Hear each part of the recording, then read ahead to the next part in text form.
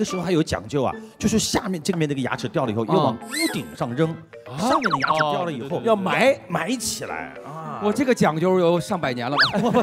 听起来好像好，哇，好厉害，好厉害！而且以前啊，家里都是爸爸妈妈负责给这个孩子们拔牙，拿一根绳绑在牙齿上。我们院儿呢就有绑在弓箭上，来，爸爸看给你射多远啊？真的吗？